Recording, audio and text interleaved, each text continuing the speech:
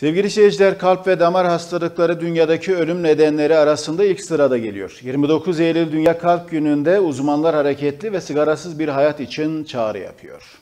Kalbin sağ kulakçığına geldik. Kalp krizi, ritim bozukluğu, kalp yetmezliği her yıl yaklaşık 17 milyon kişi kalp ve damar hastalıkları nedeniyle hayatını kaybediyor. Kalbimiz bizim için çok önemli.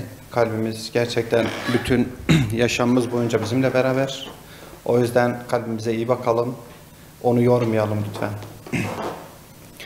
Şimdi kalp niye önemli? Toplumumuzda ölümlerin maalesef e, %50'ye yakını yine kalp, kalp ve damar hastalıklarından kaynaklı ileri gelmektedir. Bugün çok önemli bir salgının Covid salgının olmasına rağmen biz yine kalp e, ve damar e, hastalıklarını daha ön planda görüyoruz. O yüzden kalbimize dikkat edelim lütfen.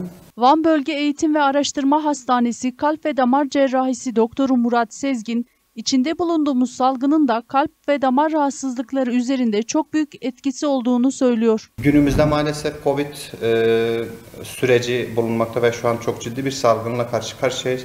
Bu salgının özellikle kalp ve damar rahat- hastalıkları üzerinde çok ciddi yan etkileri vardır ve kalp krizinin e, geçirme e, yaşlarımız özellikle 30 yaşlara kadar düşmüş bulunmakta.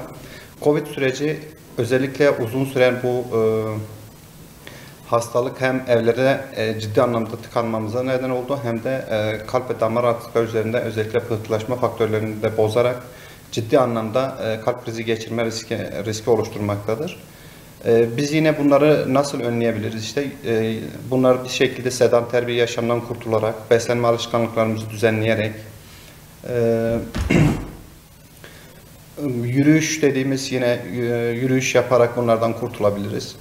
Ee, özellikle hani e, toplumumuzda çok ciddi anlamda bir e, sedanter yaşam mevcut. Onu biraz daha aktif, e, çalışır bir yaşam haline çevirirsek bu Covid sürecinden de kurtula şey bu kalp krizi geçirme riskimizi de düşürmüş olacağız. Uzmanlara göre yürürken baskı şeklinde gelen göğüs ağrıları kalp hastalığı belirtisi olabiliyor ve mutlaka doktor muayenesi gerektiriyor. Uygulamalarımıza devam edeceğiz.